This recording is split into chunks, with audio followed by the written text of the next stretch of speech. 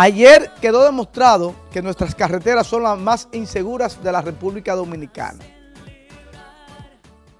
Y me dirán, ¿y por qué Roberto? Si tenemos el Ministerio de Obras Públicas y Comunicaciones que está haciendo un trabajo excelente. Sí, es verdad, pero todavía ahí quedó demostrado.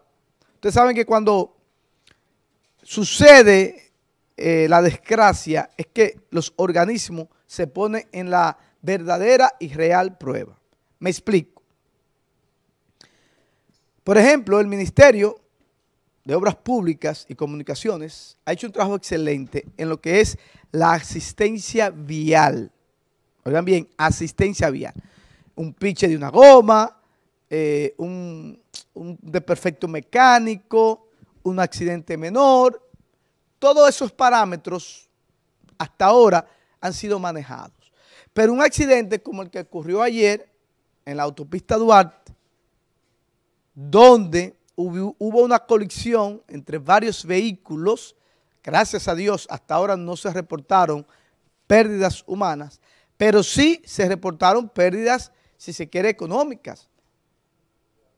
¿En qué sentido? Ahí hubo personas que duraron ocho horas en un tapón. Miren ahí las imágenes. Una patana y todo ocurrió por indecencia de un conductor que no quiso dar el paso a otro y ahí se provocó el accidente. La alta velocidad, esa autopista Duarte que está en reparación constante y hay algunos tramos, principalmente ese, que todavía quedan algunos baches y es muy, muy peligroso. Ahí estamos viendo esas imágenes, cortesía del noticiero RNN. Hay otras imágenes por ahí, señor director, también, que, nos enviaron. Y miren, esto fue esta patana cargada de block. Y miren a esa colisión. Ese tapón duró ocho horas.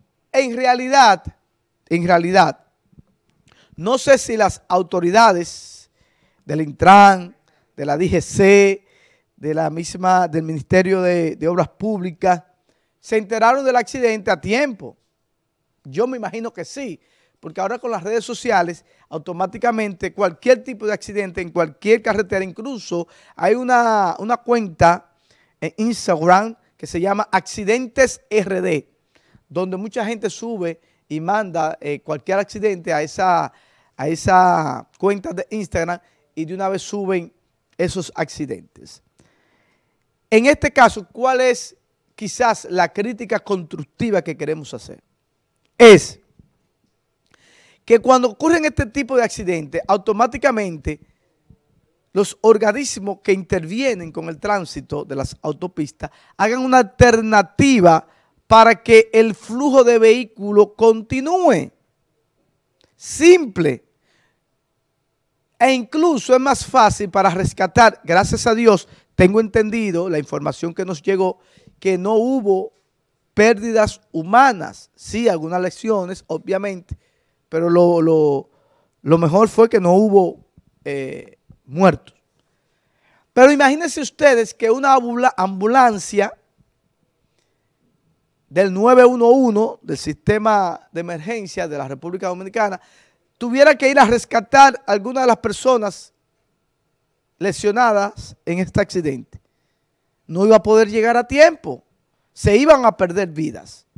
Entonces, a mí me ocurrió una vez, y es que a veces los encargados, los policías, los guardias, no sé, los que están transitando, como que no tienen la logística de que si sucede un accidente, cuáles son las alternativas viables en la misma autopista para poder eh, descongestionar el tránsito y que la gente pueda seguir circulando. Claro, lentamente, pero que se circule.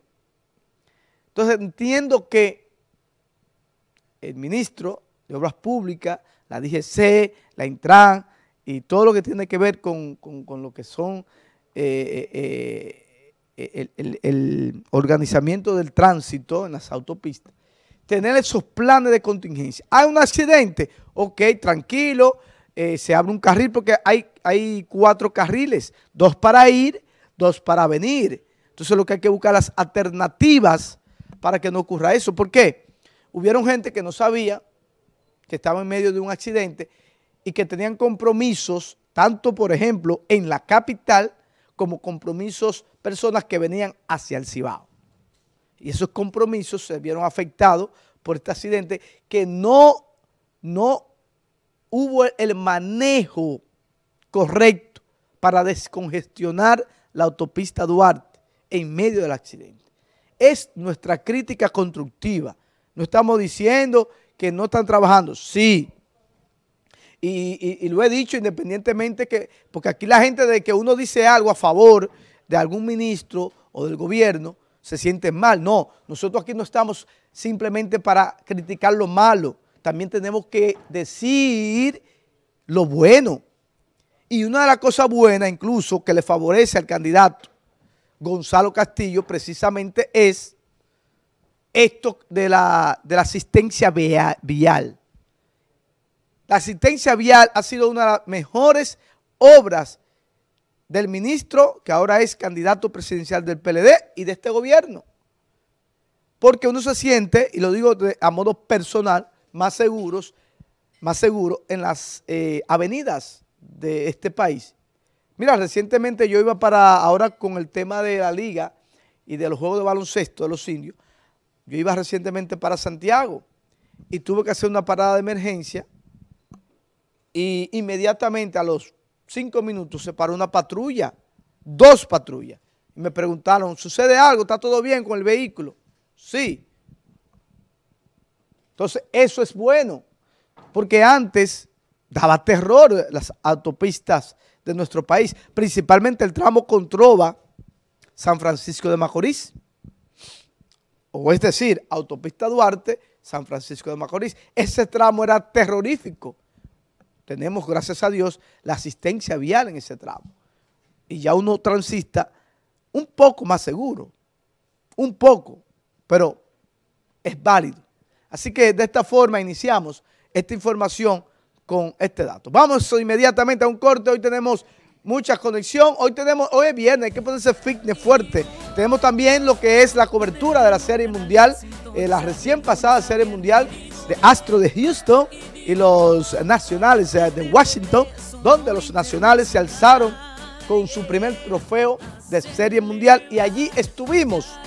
Estuvieron las cámaras del toque del mediodía. Vamos con fitness y también en el transcurso de este espacio hasta la una de la tarde estaremos colocándole las entrevistas que hicimos durante nuestra cobertura de Serie Mundial. Gracias a nuestra gente de la farmacia San Rafael, también gracias a Torneacero, Prones Publicitaria, Eva Luna Rental 3 y nuestra gente de Telenor. Vámonos con Fitness.